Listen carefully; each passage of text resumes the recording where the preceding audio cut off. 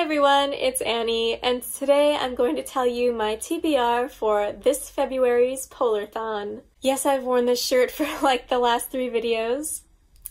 I'm sorry, this is just my schedule. I'm not going to change shirts for every video. So, Polarthon is a yearly readathon hosted by JadeyRaeReads, and I'll link all the information, including her channel, down below. So, this Polarthon is happening the first week of February, February 1st through 7th. This year, it is split up into teams polar bear, penguin, walrus, and arctic fox. I am choosing Team Polar Bear! Yay! First of all, these little mascots are so cute. I just love the drawing so much. I chose Polar Bear not for any special reason, just because the books on my TBR fit the polar bear prompts the best. I actually love penguins. Penguins are my favorite animal, so oh well. I really love the idea of this readathon. I never really noticed polar fantasies before, and I'm not a big fantasy reader in general, but now that I think about it, I think polar fantasies are really, really beautiful and interesting, so I'm looking forward to reading more about those this February. So, the first prompt that everyone has to complete, regardless of team, is to read, of course, a polar fantasy book. So, if you guys have been watching my videos for the past couple weeks, you know that I've been reading the Winter Night trilogy by Katherine Arden.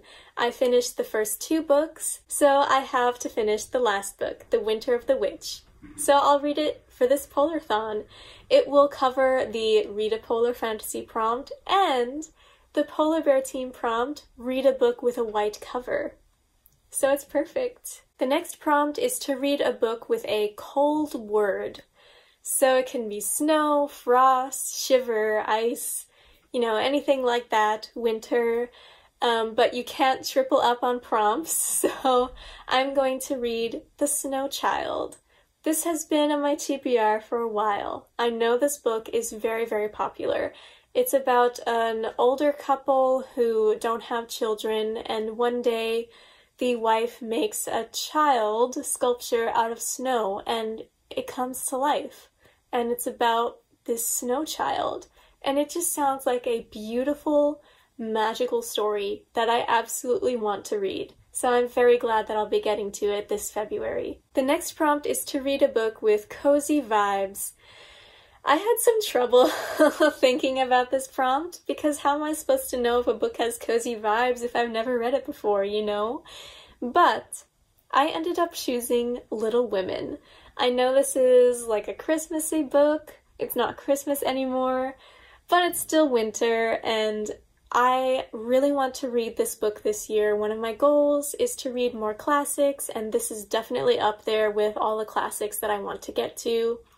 I know it's pretty long, so it's a little bit ambitious to read in a week, but I really want to read this. However, if you have any other cozy book vibes that you want to recommend to me, please do so. I'd love to hear about your recs. And the last prompt is to read a book about a journey.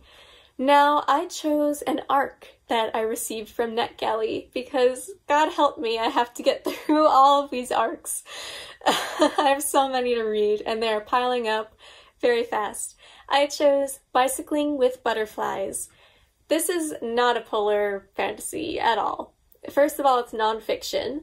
Second of all, it is not anywhere near snow or Russia or Nordic countries or anywhere cold.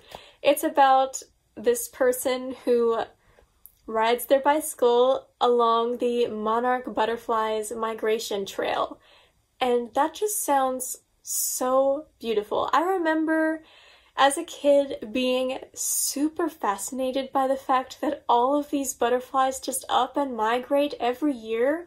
And it just, it's so beautiful to me. First of all, the cover is gorgeous. I just love it. I love butterflies. I love nature writing. I love travel memoirs. This book sounds like it's going to be perfect for me. So I'm really glad that I can read it for this prompt and also read an arc that I need to read for this readathon. Alright guys, and that's my TBR for this Polarthon. I really hope you enjoyed. If you're also participating in Polarthon this year, please let me know down in the comments. I'd love to talk to you about it and get to know my fellow readathoners. and let me know what books you're planning to read and what team you're on. Alright guys, I had a lot of fun filming this and I'm looking forward to reading all of these books. I'll see you next time. Bye!